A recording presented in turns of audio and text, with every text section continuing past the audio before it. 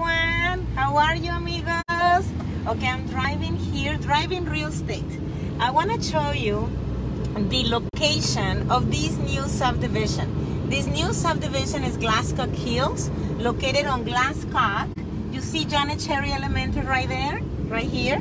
Then just, I want you to see the, the steps away and how close the proximity of uh, Janet Shary new construction, uh, beautiful subdivision that is called Glasscock Hills.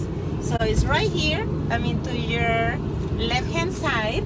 Mailboxes are right there, as you can see. And this is the main entrance right here.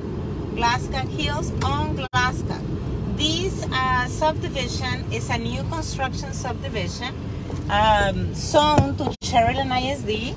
You do have Janet Shary Elementary and I believe is North, Sharyland North Junior High and Sharyland Pioneer High School. So as soon as you turn to your right, as you saw, you're gonna be looking for Wisteria to this side of the street.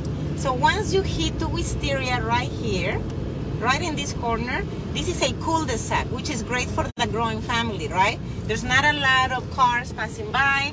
Your, your children can be playing outside and the bikes because only the neighbors that live in this area will come, right? So right here on Wisteria, we have 2510 Wisteria, Mission, Texas, which is this one right here. Gorgeous home, three bedroom, one bath, I'm sorry, three bedroom, an office, two and a half bath, 1906 living square feet, beautiful. And then right across, take a look over there, you have 2509 Wisteria, Mission, Texas. And this one is a four bedroom, three full bath, okay? It is truly gorgeous. You have to take a look of these homes. Today we have an open house, 1 to 3 p.m.